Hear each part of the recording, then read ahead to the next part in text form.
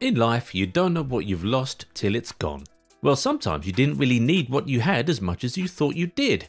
Here are the top clubs who sold their best players and yet improved as a result. Let's go. Number 1. Liverpool and Philippe Coutinho.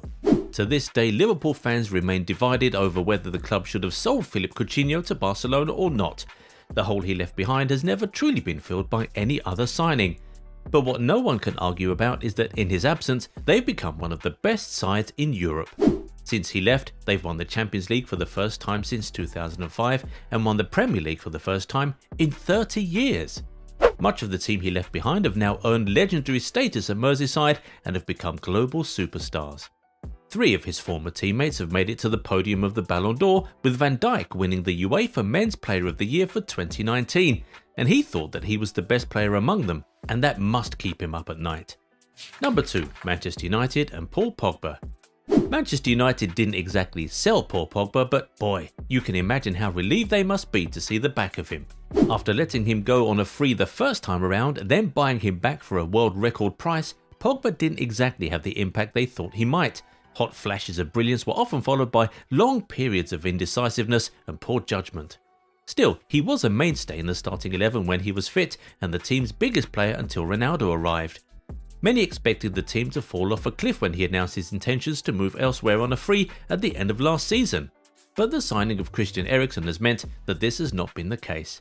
Bruno Fernandes has been unleashed this season, with the Dane providing the stability and balance to allow him to surge forward. The jury is still out on how far Ten Hag can take this team, but it's safe to say that for now, no one is missing Pogba. Number 3. Inter Milan and Mauro Icardi. It must be a headache when your best player is also the most ill-disciplined player in your squad. That was the case for many years at Inter Milan. Their captain and talisman, Mauro Icardi, who was Inter's leading scorer for four straight seasons, had become the most divisive player in the whole of Italy. When the acrimony between him and the club reached boiling point, PSG came calling and he and his agent wife happily obliged. Inter Milan were equally happy with his departure and set out to refocus on their title aspirations. The 50 million euros they got for him helped to offset what they paid for Romelu Lukaku, and soon enough, the gap between them and Juventus was closed. The next season, they won the Scudetto and ran AC Milan down to the wire the following season. Number 4. Leicester City and Harry Maguire. When Manchester United placed a bid of 87 million euros for Harry Maguire, Leicester didn't wait a second in accepting it. As it turns out, every player who has played at centre back for the Foxes since then has played better than Harry has for United. Soyuncu, Jonny Evans, and even Wesley Fofana. In the year he left, the team itself ended the season in 5th place, their best position since they were crowned champions in 2016. Number 5. Atletico Madrid and Antoine Griezmann. For Atletico, this was a case of double gain at the expense of rivals Barcelona. With the Neymar-sized hole still gaping in Barcelona's setup, they looked to a rival team's player for a 120 million euro solution. That man was Antoine Griezmann. In 2019, the move became a reality, but it didn't yield the result that everybody expected. Inexplicably, his time at the Nou Camp was as frustrating for him as it was for the Blaugrana fans. To make matters even worse, Luis Suarez went the other way two years later for a measly 9 million euros and delivered the La Liga trophy for Atleti on his first go.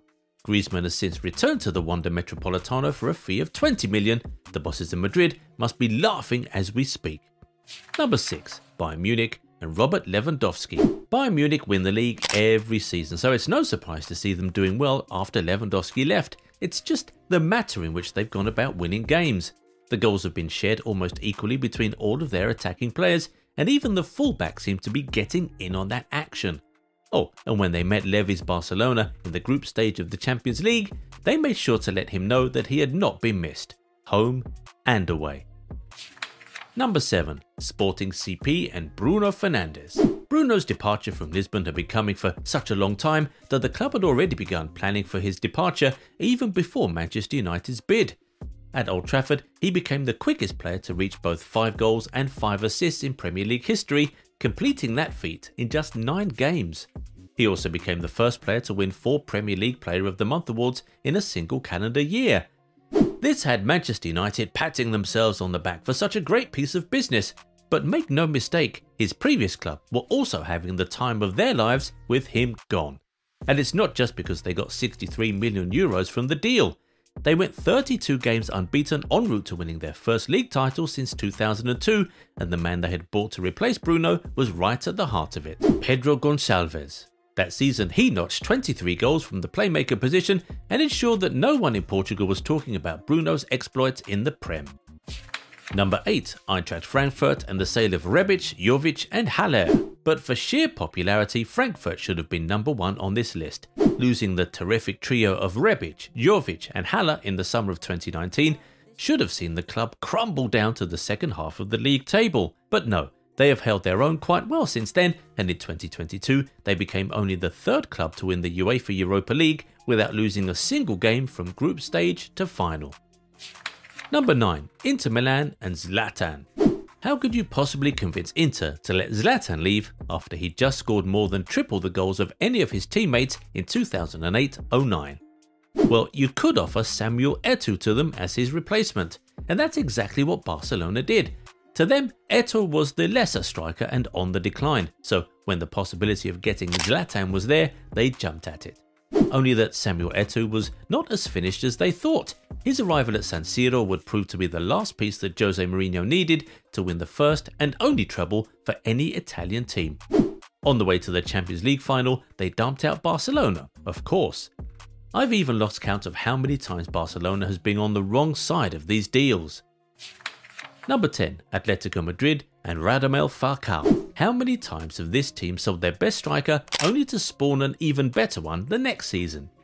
In the case of Falcao's departure, no one expected his deputy to be as good, but my goodness me, Diego Costa took the league by storm. Finally out of Falcao's shadow, Costa didn't just take Atletico to a top 4 finish, he took them to the European Cup final and to the league title. From the likes of Fernando Torres, Diego Forlan, Sergio Aguero and even Alvaro Morata, no one knows who the next number 9 will be, but with Atletico, we know that he's coming. That's all we have for today guys. If you enjoyed the video, give it a thumbs up and subscribe to the channel. Till we meet again. Bye bye.